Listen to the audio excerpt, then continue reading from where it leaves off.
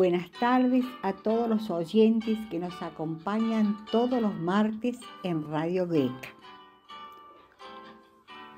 Hoy hablaremos de la serenata cuyana, una hermosa costumbre como la llama el profesor investigador Alberto Rodríguez, heredada de España, donde era frecuente hacer visitas musicales nocturnas a amigos, parientes, llevando por las calles estas serenatas. En nuestro país fue especialmente en Cuyo, es decir, en las provincias de San Luis, Mendoza y San Juan, donde tuvieron fuerte arraigo. Las serenatas son nocturnas y generalmente se dedican amigos, familiares, compadres, término muy propio de la región. Y como veremos más adelante, también son llevadas por los jóvenes enamorados que la ofrecen a la mujer amada declarándole su amor, amor que a veces no es correspondido. Cuando la serenata es a los amigos, las personas llegan a la casa elegida con guitarras, requinto o guitarrón, instrumentos propios de la región cuyana, y el cantor o los cantores entonan una tonada, un estilo, alguna samba, o quizá algún vals. La profesora María Teresa Carrera de Migliosi, gran investigadora puntana, recuerda como nota pintoresca que en tiempos pasados los instrumentos y los cantores se trasladaban a veces en alguno de los llamados coches de plaza hasta el lugar donde se daría la serenata, el dueño o la dueña de casa escuchaba movimientos, afinación de guitarras que lo alertaban para prender las luces, a la vez que se escuchaba ya una voz anunciando serenata.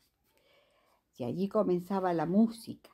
Al finalizar, un gracias saludaba a veces a los amigos, pero en otras ocasiones se abrían las puertas y se invitaba a pasar continuando la alegría de celebrar la amistad, con música y guitarras, y por qué no, con algún brindis especial. Quien bien quiso tarde olvida aquello que amara tanto. No vale gastar el llanto por una prenda perdida.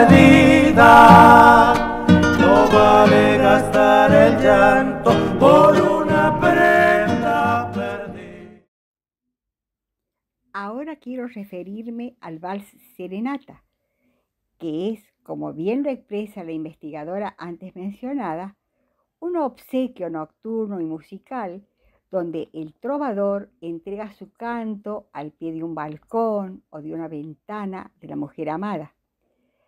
A veces, por no tener buena voz, pide a un amigo cantor que sea quien interprete el vals elegido. María Teresa Carrera de Migliosi recuerda un antiguo vals que luego recopiló en uno de sus libros, cuyos primeros versos decían, Despierta niña si duermes, que junto a tu amante reja viene a exhalar una queja un rendido adorador. Perdona si mi pesar indolente me ha traído y de tu sueño florecido te he venido a despertar.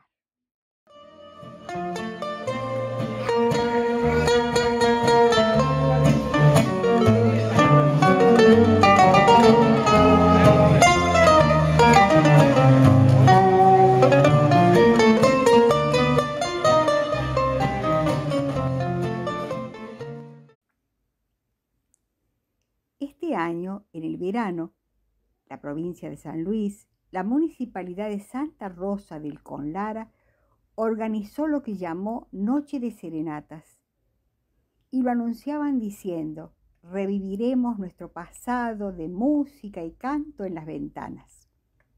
Y así lo hicieron.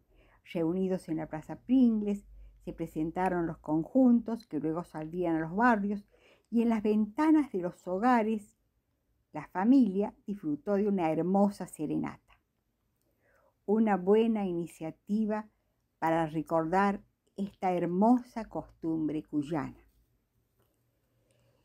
Y para finalizar, quiero anunciarles que en enero del 2023 se realizará por primera vez en la ciudad de San Luis un festival que se viene preparando con mucho entusiasmo hace tiempo y llevará el nombre de Serenata Puntana.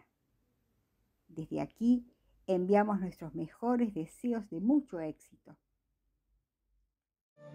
Caminar por tus calles es todo lo que quiero.